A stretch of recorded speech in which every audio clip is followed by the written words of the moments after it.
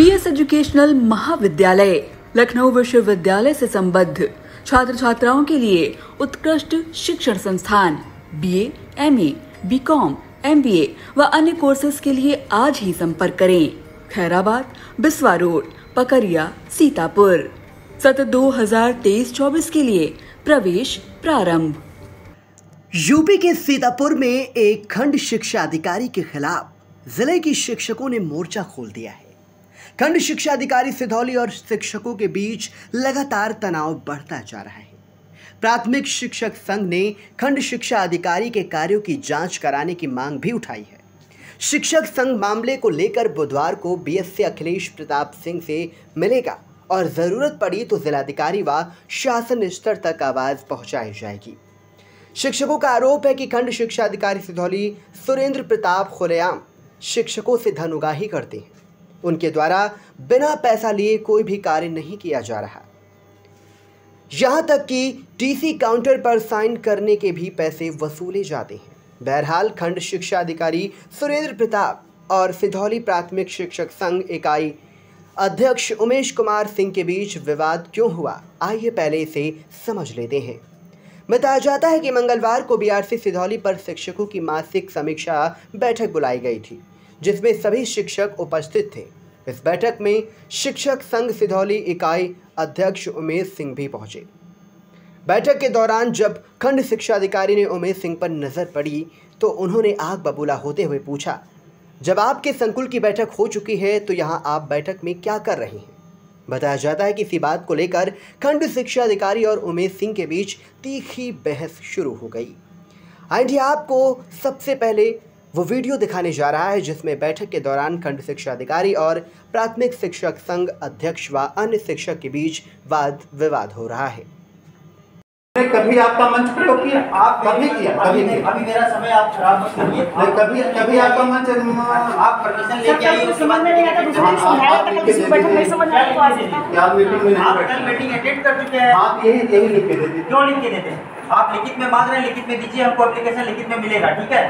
जाइए आप।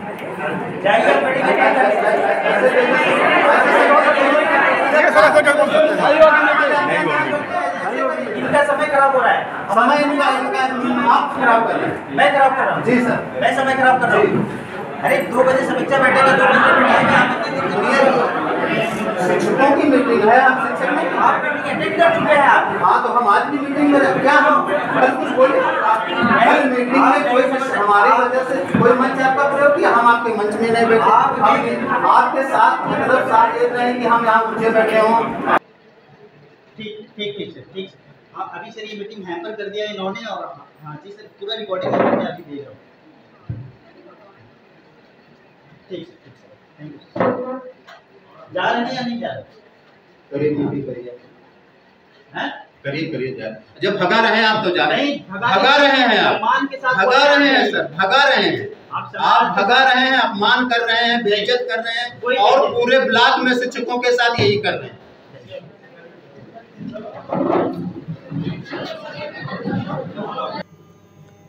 वीडियो में आपने देखा कि किस तरह बैठक के मध्य एक दूसरे के बीच तीखी नोकझोंक जैसी हो रही है।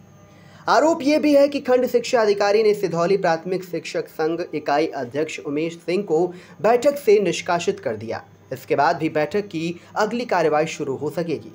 मामले में शिक्षक संघ सिधौली इकाई अध्यक्ष उमेश कुमार सिंह का क्या कहना है? आइए पहले उसे सुन लेते हैं। दिनांक 23 जुलाई को आठ बजकर इकतीस मिनट पर खंड शिक्षा अधिकारी महोदय ने मुझे फ़ोन किया कि उमेश जी दो दिन में बड़ा ब्लॉक है एक साथ बैठने भर की व्यवस्था भी आरसी में नहीं है तो इसलिए दो दिन मीटिंग रख रहे हैं छः संकुल सोमवार को और छः संकुल मंगल पाँच संकुल मंगलवार को। हमने कहा ठीक है सर। उन्होंने कहा आप दोनों दिन उपस्थित रहिएगा। तेईस जुलाई को एक एक मिन, मिनट तेरह सेकंड बात हुई है हमारी खंड शिक्षा अधिकारी महोदय की। कल मीटिंग हो गई। आज जब हम लोग मीटिंग हॉल में बैठे थे जैसे ही प्रवेश किया इन्होंने मुझसे कहा कि आ, आप यहाँ कैसे? हमने कहा आप ही ने तो कहा था। उन्होंने कहा, नहीं नहीं, निकलिए, आप बाहर जाइए, आपको यहाँ किसने हमने कहा, क्या बीआरसी आने में कोई प्र- प्रतिबंध है? उन्होंने कहा, प्रतिबंध किसी के लिए नहीं, आप बाहर निकलिए, आपको यहाँ मीटिंग हॉल में नहीं बैठने देंगे। तो हमने कहा, क्यों नहीं बैठने देंगे? तो उन्होंने कहा, जाइए जा कर के बी साहब से लिखित परमिशन लाइए कि आपको इस मीटिंग में शामिल करवाना है। तो हमने कहा, तुरंत बी सर से कैसे परमिशन मिल सकती है? ये मीटिंग आप कर लीजिए, अगली बार से हम लोग परमिशन लेकर आएँगे। तो उन्होंने कहा हम कुछ नहीं सुनना चाहते हम आप निकलिए बस यहाँ से। कई अपशब्दों का प्रयोग किया और उन्होंने और धमकी दी कि आपको नौकरी नहीं करने देंगे निलंबन करवा देंगे और हमें हम जो ब्लॉक में कर रहे हैं इसका जो भी विरोध करेगा उन सब पर कार्रवाई करा देंगे।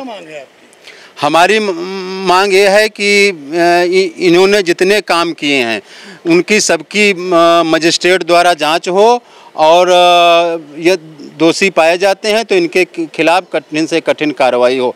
उत्तर प्रदेश सरकार माननीय मुख्यमंत्री जी की ज़ीरो टॉलरेंस की नीति है और हमारे जो मुखिया हैं महानिदेशक विजय किरण आनंद जी उन, उनका भी कहना है कि विभाग में कोई भ्रष्टाचार नहीं चलेगा। जबकि खंड शिक्षा अधिकारी महोदय दो चार छः लोगों को लगा के पूरा बिना पैसे का कोई काम नहीं करते और जो इनको पैसा नहीं देता उसका मानसिक उत्पीड़न करते हैं, विद्यालय में जाके पूरा पूरा दिन निरीक्षण करते हैं, दस दस, पंद्रह पंद्रह साल के पुराने रजिस्टर देखते हैं और कहीं, मान लीजिए कोई वहाँ पाँच साल से है, दस साल पहले कहीं कटिंग मिल जाती है तो कहते हैं, तुम्हारी एफआईआर करवा देंगे, ये कटिंग क्यों है? जो पाँच साल से वहाँ कार्यरत है, आपकी मांग मानी जाती है? क्या आप इसके आगे आप क्या वो हमने अपने जिला संघ को जिलाध्यक्ष जी को जिला कार्य समिति को अवगत करा दिया है। आगे संघर्ष की घोषणा जिला कार्य समिति द्वारा की जाएगी। आपका नाम? उमेश कुमार सिंह अध्यक्ष प्राथमिक शिक्षक संघ सिधौली। खंड शिक्षा अधिकारी सिधौली सुरेंद्र प्रताप और प्राथमिक शिक्षक संघ सिधौली इकाई अध्यक्ष उमेश कुमार सिंह के बीच हुई तीखी नोकझोंक के बाद शिक्षक संघ की जिला इकाई ने अब लड़ाई तेज करने का फैसला ले लिया है। प्राथमिक शिक्षक संघ का कहना है कि खंड शिक्षा अधिकारी सिधौली के कार्यों की मजिस्ट्री जाँच कराई जानी चाहिए और जाँच के दौरान उन्हें जिला मुख्यालय से संबद्ध किया जाए। अगर ऐसा नहीं किया जाता तो संघ कड़ा संघर्ष करेगा। शिक्षक संघ के जिलाध्यक्ष रविंद्र दीक्षित मामले में इंडिया से क्या बोले, आप भी सुने। ये विकास क्षेत्र सिधौली का जो मामला है, ये काफ़ी दिनों से चल रहा था। वो सोची समझी खंड शिक्षा अधिकारी की रणनीति का हिस्सा था ये। हम लोग समझ नहीं पाए और हमारे अध्यक्ष धौली, श्री उमेश यादव जी वहाँ पर ए बी एस ए के बुलाने से पहुँच गए और मेन मामला यह है कि वहाँ के जो खाऊ कमाऊ नीति है उनकी, उसका संगठन हमारा विरोध कर रहा है। अभी मैं आपको बताऊँ कि वर्तमान में जो शिक्षक कार अंतर जनपदी में ट्रांसफ़र हुए उनके रिलीविंग के नाम पर बड़े पैमाने पर पैसा लिया, यहाँ तक कि सिधौली विकास क्षेत्र में टीसी के नाम पर भी वसूली की जा रही है, जिसका उत्तर प्रदेशी प्राथमिक शिक्षक संघ विरोध कर रहा है।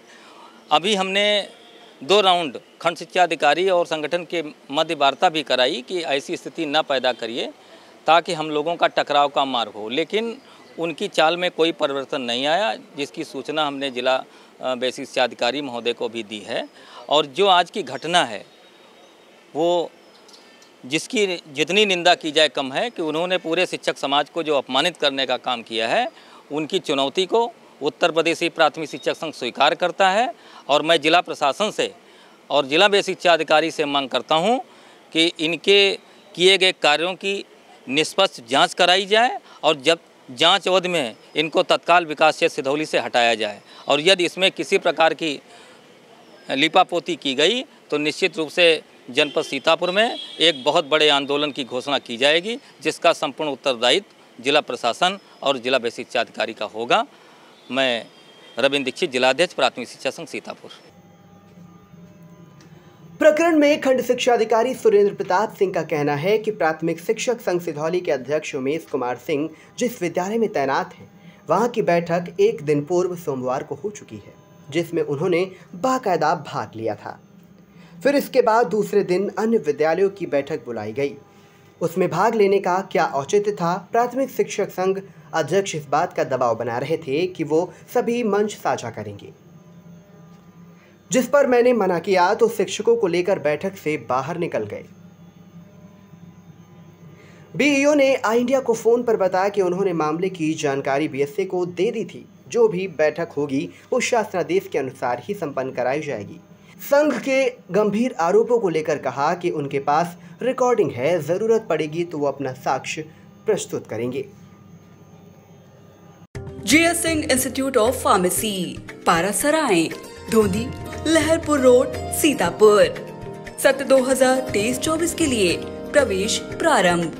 D pharm B pharm PG diploma in journalism and mass communication PG diploma in computer application Seth M R Jaipuria school Mahmudabad, nursery से कक्षा 12 तक। सत्र 2023-24 के लिए प्रवेश प्रारंभ। सुनहरे एवं प्रतियोगी भविष्य की ओर बढ़ते कदम। सपनों को साकार करने का संकल्प। 31 जुलाई 2023 तक एडमिशन शुल्क पूर्णतया माफ़।